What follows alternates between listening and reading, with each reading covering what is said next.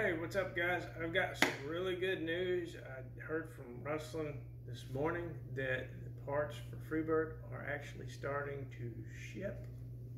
Yay. Uh, anyway, what I've been up to lately is I've been working on one of the Super Bee builds.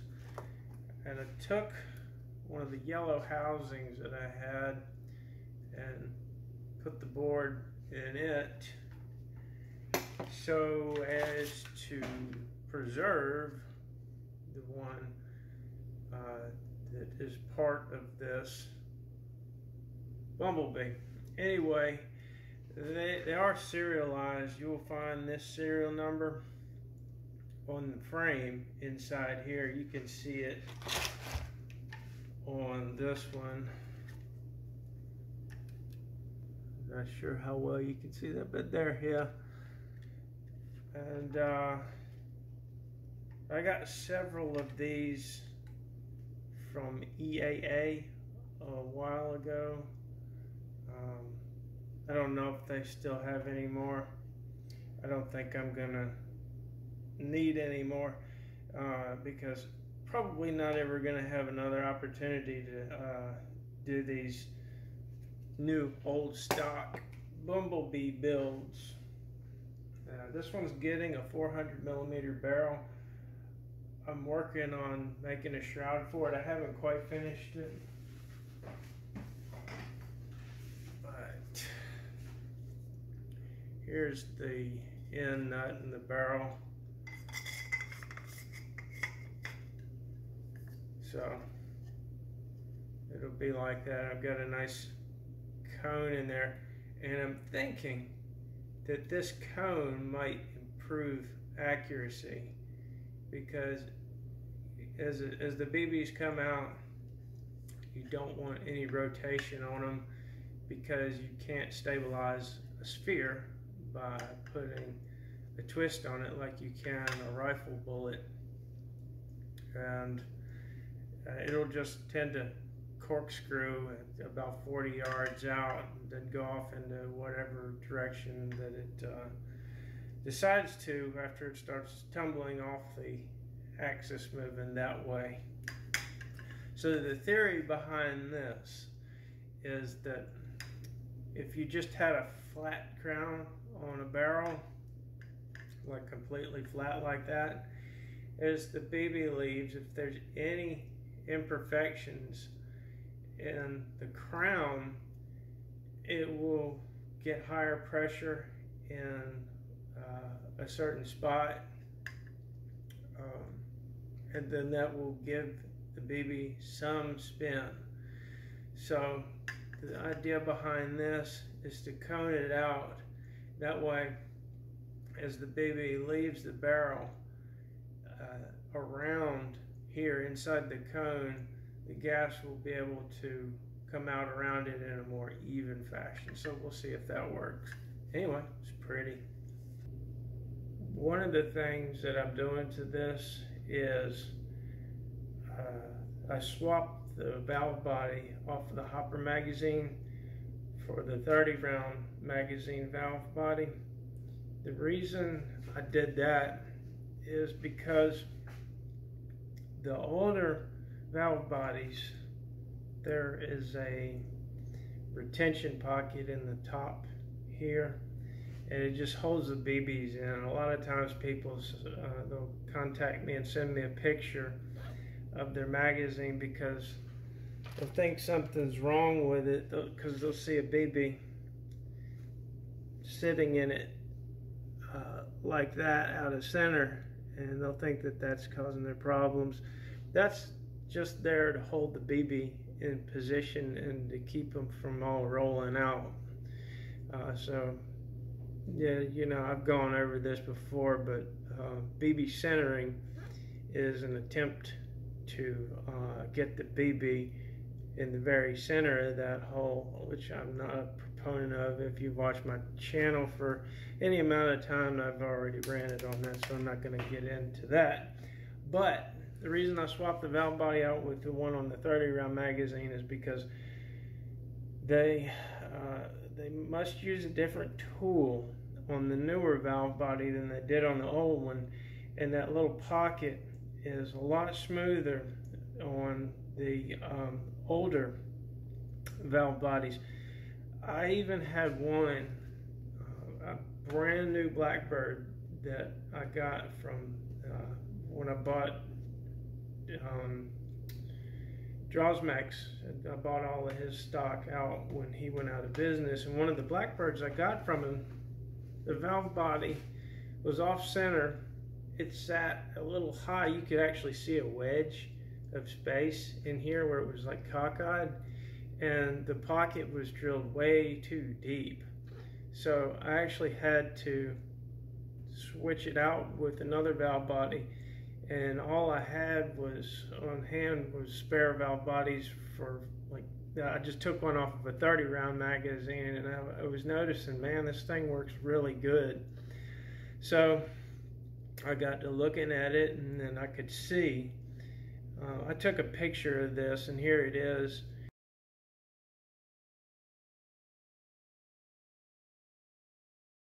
You can't really tell much from the picture, but you can tell a difference by physically looking at it. So uh, that brings me to the point of the the um, dual hook um, valve body combo and uh, for those of you I get asked about it quite a lot uh, it's a really cool idea because on the regular ones, there's only one hook that grabs in here. This isn't really a problem with the 30 round magazines because they're made out of metal, but the hopper magazine gets torqued uh, when you put it into um, the magazine well and it engages with that hook because there's only one especially with the Magnus-Op seal because the Magnus-Op seal is designed to press on the valve body. So the dual hook uh, design has two hooks, one that engages here and another slot for another one on the barrel nut to engage here. Uh, that's all good and well, but to do that modification, they still use the current production valve bodies, which in my opinion are um, not nearly as good as the old ones.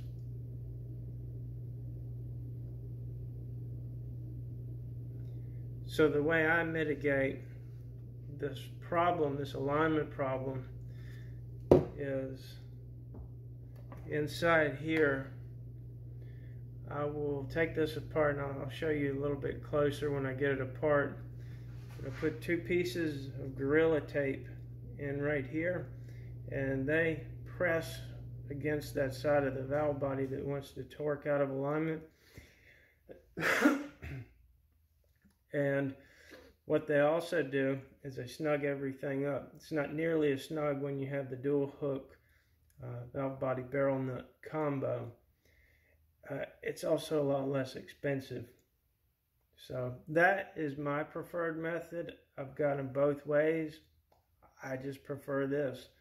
Uh, some people, you know, can't stand the idea of having their build done with tape anywhere near it. But the joke's on them because I use fiberglass reinforced strapping tape to hold the buttons in. All right, I don't think I've ever gone over these solenoids and how to solder them and desolder them and um, other ways to do it if you're not set up like I am. But each wire goes into the back of the solenoid through little holes. And if you have solder sucker, it'll make your life a lot easier.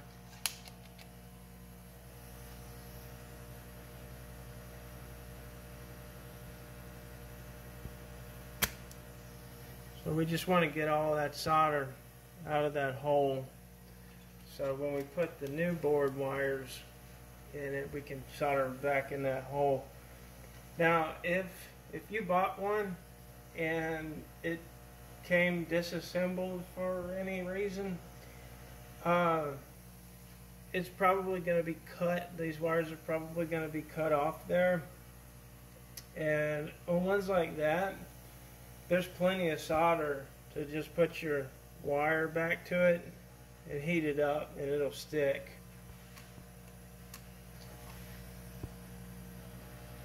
But we don't do that here.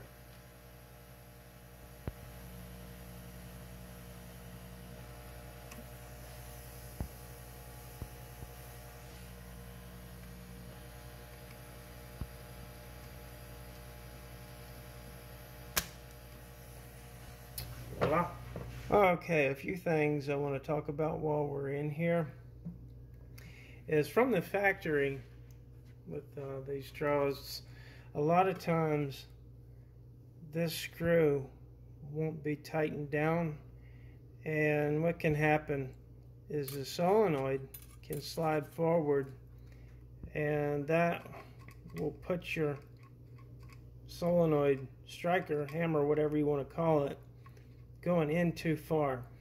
Now this striker needs to have some momentum to open the valve and if it's right up on it, it's not going to have enough momentum to open the valve. So this is a common problem uh, that people run into and they're asking me about it. Well, this is one of the things I tell them to look for.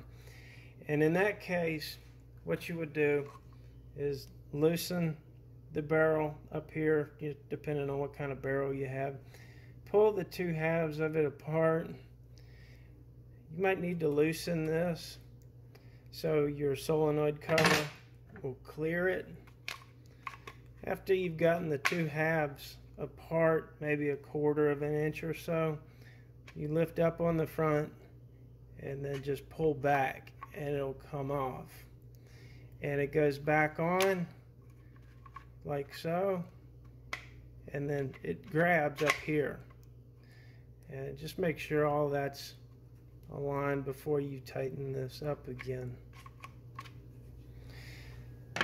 Uh, also, while we're in here, this is kind of rare for bumblebees. In here, there is a spacer. You see it? It's like a washer. Most of the time, these bumblebees don't even have these. There used to be some debate on what they were for because you normally see two of them in a blackbird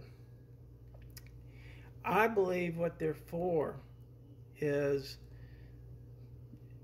to set the distance that your barrel threads go into the barrel nut to give you some resistance here on the barrel seal. So yeah, after a while you weren't getting a very good seal, theoretically you could take this out and it would push your seal out a little further. Uh, now this that seal protrusion really comes into play with Magnus Op seals because it presses on the valve body pretty firmly and to get that proper fit um, it was designed for blackbirds so the two washers in here will give you the proper fit now, on things like this, where you've only got one, or in most cases you don't have any of those, I make um, a little ring just out of music wire. And these rings are 0.05 inches in diameter. And having this in here will give you the correct uh, spacing that you need for the right seal protrusion of your Magnus Op seal. I'll show you when I get it back together. So we've got our Magnus Op seal in it. And to get these in, they're kind of a pain in the butt. I like to use a screwdriver and just press them in. So when our barrel screws in, it's going to push out on it a little bit.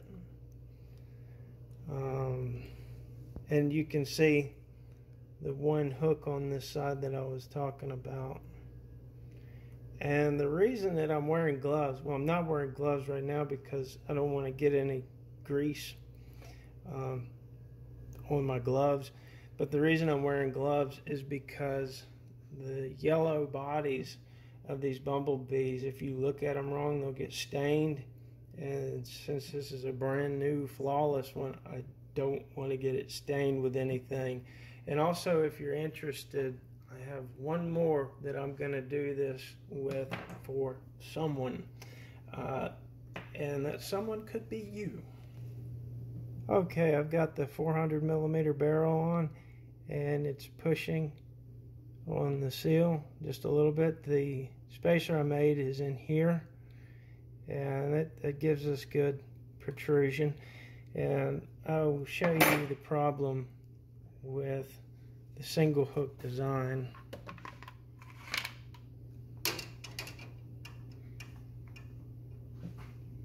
Okay, now it's pressing on there, but you see, see that wiggle room?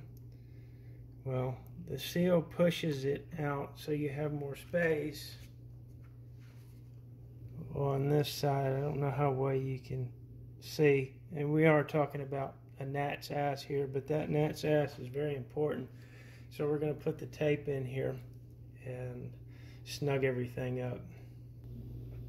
I told you I used two pieces.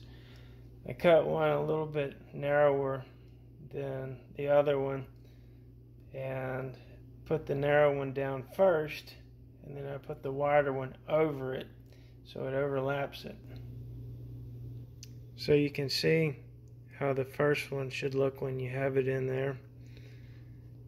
And I just slide them in from the top and we'll cut that excess off after we, we'll do it right now and uh, then we'll put the other one in.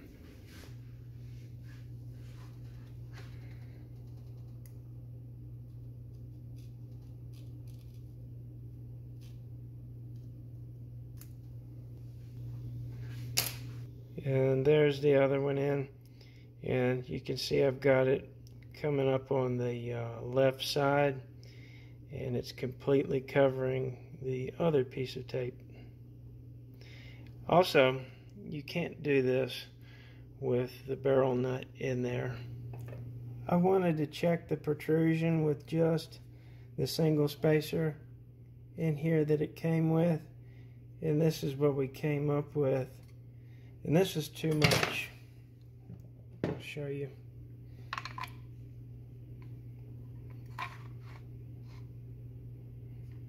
See your magazine, it's just you could force it, but you're you're deforming the seal. So we're definitely going back with our homemade shim. Now just to be clear, all of that stuff with the valve body and alignment and this and that and the other, it's not really crucial unless you're getting way up into the high rounds per minute, like 4,000 and whatnot. So I do catch some flack from the Russians. It'll be like, hey, why you not like this part? They don't buy this part. I'm like, hey, well, you know what? Either prove me wrong or make it better. So uh, what I'm gonna this is about like if you're if you're wanting if you have a classic Drozd and you want to make it full auto you know it won't work because the boards don't have this for your hopper magazine this jack for your hopper magazine as you can see in there. And the switches I'm not sure if all classic boards have these smaller switches, uh, but the Blackbird boards have these bigger ones. This is actually a knockoff board, believe it or not. It's an exact replica from Drosmax. But uh, anyway, because the switches are narrower, they also made the sliders narrower, so that part won't fit over the switch right there. So what I do when I run into this is because you're probably not going to have a set of Blackbird sliders if you get a Blackbird board. I take my Dremel tool with this little diamond wheel in it and I cut out, I think like two notches. One, two, yeah, cut in there. And then go over here on this side and cut in there two notches. And then these uh, older style sliders fit right on those switches. Okay, for this one, um, I actually had to back the solenoid off because it was going in too far after I put in that spacer.